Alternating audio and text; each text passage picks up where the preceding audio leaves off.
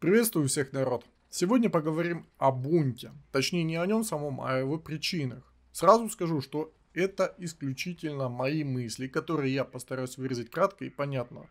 Я ни к чему не призывал и призывать не собираюсь, и уж тем более никого не оскорбляю. Итак, начнем с причины, а именно с результатов голосования за тест новой механики, точнее переработка механики урона комарных снарядов. По итогам голосования 48 было за и 52% против. Но несмотря на результаты голосования, улитки решили провести это тестирование, что естественно вызвало недовольство у аудитории, которая проголосовала против. Здесь я сделаю отступление и выражу свои мысли по этому поводу. В моем понимании не произошло ничего страшного, так как голоса распределились почти поровну. Но каким образом?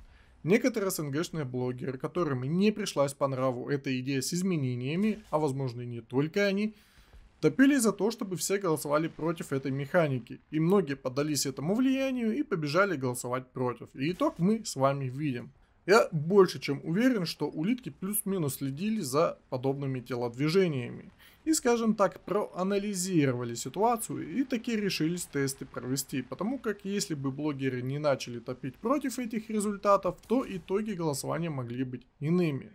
К примеру, представим ситуацию. У вас есть два кандидата, один пиарится, а второй нет. Каковы шансы первого стать победителем? Думаю, тут ответ очевиден. И улитки, я думаю, тоже далеко не идиоты и тоже это понимают. Итог недовольство игроков и блогеров, которым не понравилось решение улиток и решили устроить бунт по этому поводу. При этом требуют улиток извинения за подобные решения и все такое.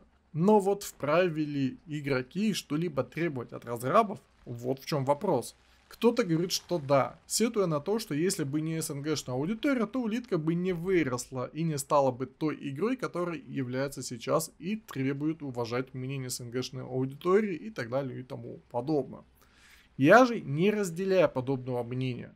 Почему? Первое. Тезис о том, что улитка обязана своим становлением аудитории СНГ, не верен изначально – так как если бы разработчики не создали игру такой, какой она является, то и никакой аудитории не было бы. Никто не заставлял всю эту аудиторию под пытками играть в эту игру, когда она появилась. И уж тем более в нее донатить. И то, что эта аудитория появилась, они обязаны только сами себе. Но никак не иначе.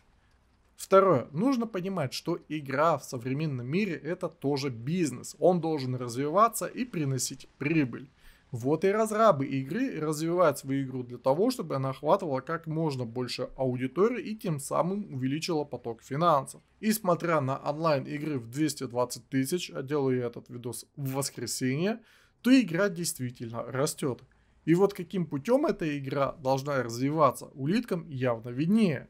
На данный момент у игры не стоит цель стать как можно известнее, она и так уже довольно известна, и многие, если в нее не играли, то однозначно либо видели, либо слышали.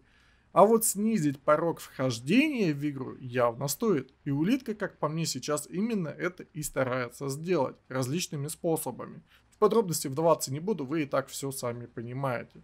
А вот изменение механики камерных снарядов, как мне кажется, это еще одна небольшая ступенька к тому, чтобы снизить этот порог – Мир ваншотов далеко не каждому игроку может понравиться. И для того, чтобы снизить эту планочку, и хотят протестировать, а может и впоследствии внести эти изменения уже на основу.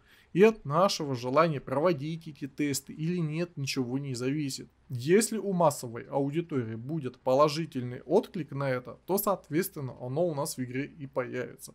А так как мы, СНГшная аудитория, уже давненько не считаемся основной, то и влияние мы оказываем минимум. Да и к тому же Джоны платят сильно больше, чем мы. И региональных скидок у них там нету.